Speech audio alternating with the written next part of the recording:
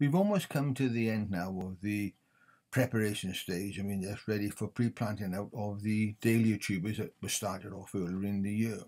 And the one thing that's become apparent with all of these is that no two are the same. In the UK, it's generally safe to plant out from the end of May through to the middle of June, after your last frost, wherever you are. So always watch the weather forecast. And here you can see them ready for their final potting. We start off with the Arabian Night because there's such an extreme with this. This one's really grown away, as you can see. Um, so almost like a beanstalk, and there's a little young shoot alongside that I will remove later on. I may make a cutting out of it, I may not. Um, but the main reason is to get the plant moved up. And here you can see the pots that I use. And I will keep them in these pots for the rest of the growing season. What I tend to do with my dahlias is to where the spring flowering bulbs, tulips and narcissus have died down, I tend to pop these on top to fill the empty space. Be a little bit careful and then we've removed the shoot, we'll take care of it afterwards. Knock it out and see what the root system is like.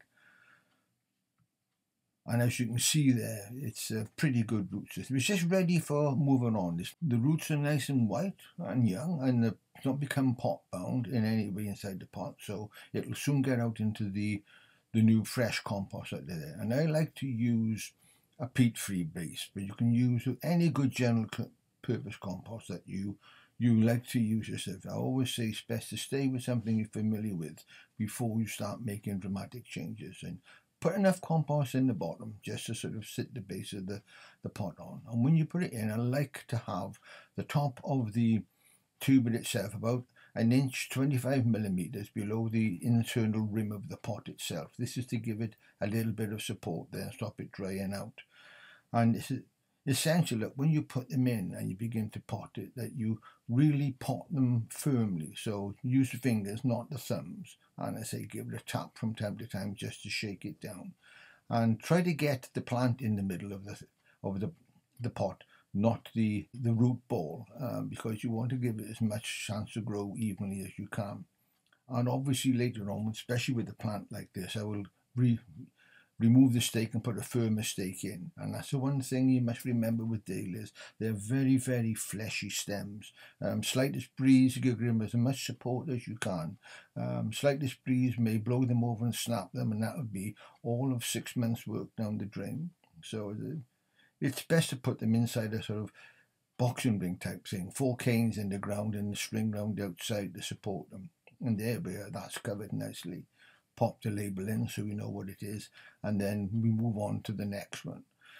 And this next one, once again, is Arabian Night. But you can see it's completely the opposite. It's small, it hasn't grown so much. It looks healthy. Um, the root system is still clean, it's not so vigorous, but you can see it there.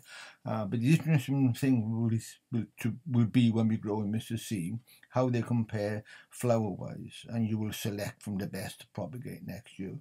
And this is one reason why I like to use cuttings as opposed to using tubers like this. Um, I bought these earlier in the year purely simply because I wanted to grow some some dahlias in the garden, and I never dreamed it would, it would end up with them all different shapes and sizes. So remove the little side shoot to drive all the energy into the one main shoot so that you can get as much sort of growth on as you can.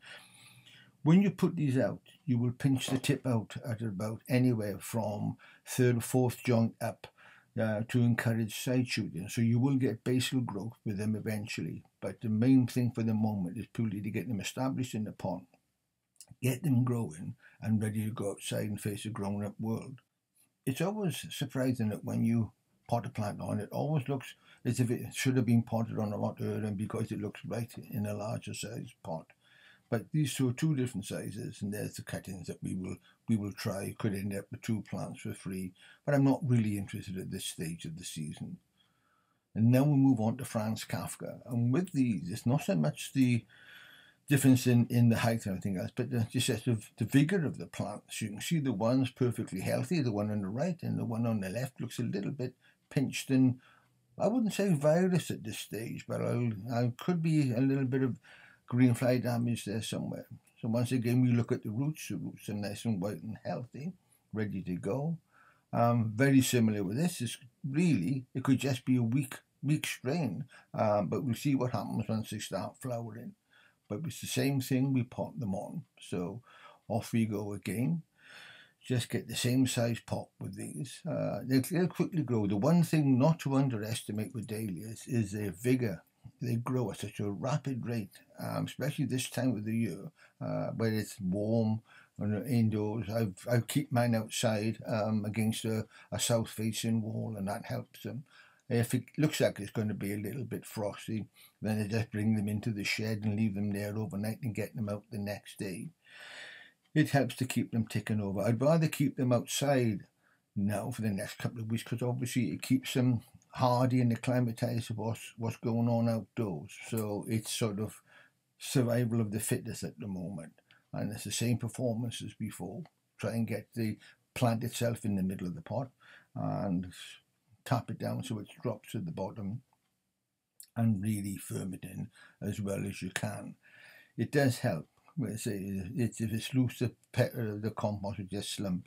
And here you can see the weaker plant, and it really does look sad. I don't know. Um, I'm spraying it there with um, an organic um, uh, insecticide. It's, it's, a fatty acid, really. It just burns the, the, the, scale of the plant. I'm going to see what happens with it. I've got some, what they call plant invigorator somewhere, which is a, a foliar feed, and we'll try that later on. So now we'll move on to the reason all these happened. I went out to buy David Howard and came back with this mixed bag. And now the the bands I had, the David Howard is the worst. And the little chap's still with us, hanging on, little um, shoot just growing there. I'll see what happens. It may not make a plant this year. But the one we have is looking fairly strong and vigorous. Uh, not such a overdeveloped root system, but still it's nice and young and white and it'll, it'll grow for us. And I shall use this as a stock plant and propagate from it next year. That's the one thing about it. It's, it's with dahlias is when you get a good one, if you hang on to the tubers, then because it's vegetative propagation, all of the plants that you propagate from that will be identical. So there it goes into the pot.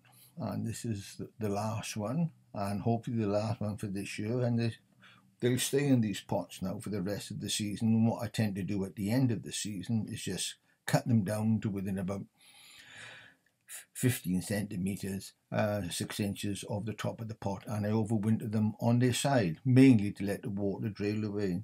And it's always surprising, I was always one awkward one, and it's this one. I just couldn't get it right, whether I was losing concentration or just putting it in, taking it out, putting it in, trying to make it fit. Um, but the best thing is, is to say that you you make sure that it does sit properly and um, there we are. You don't just get sloppy about it and sort of say, oh, that'll do. Um, that's not good enough for gardening. So, yeah, we, have got it there. And it looks quite healthy, as I say. I've got to say that, you know, I've no, no worries about this. And you have to keep spraying these during the season because green fly love them. Slugs also love them, but the green fly can't get in there can transmit virus, uh, can also distort the fruit buds, sorry, the flower buds, and um, loses its performance. And the one thing that you should do is never spray in bright sunshine. Always pick a the evening after the bees have gone to rest or on a cloudy day, but always try and spray in the evening after the bees have returned to the hive. And now we return to old Tom Tiddler, and let's hope. So I'm just just so he doesn't feel left out, giving him a little top dress in there in the hope that some of the nutrient in the fresh compost may just help it spurt. But as I say, this, this is just something, you know, I'm doing now as a, as a personal um, project, really. I just wanted to grow. I want to get something from it. If I can get a cut in, I'll be happy. Um, fingers crossed, as you can see there. And here now with the cuttings that we took earlier on, you can't take cuttings from dahlias all the time, as long as the, the stems are not hollow. Um, and just strip them back, remove as many leaves. These are very fleshy, the stems are very soft.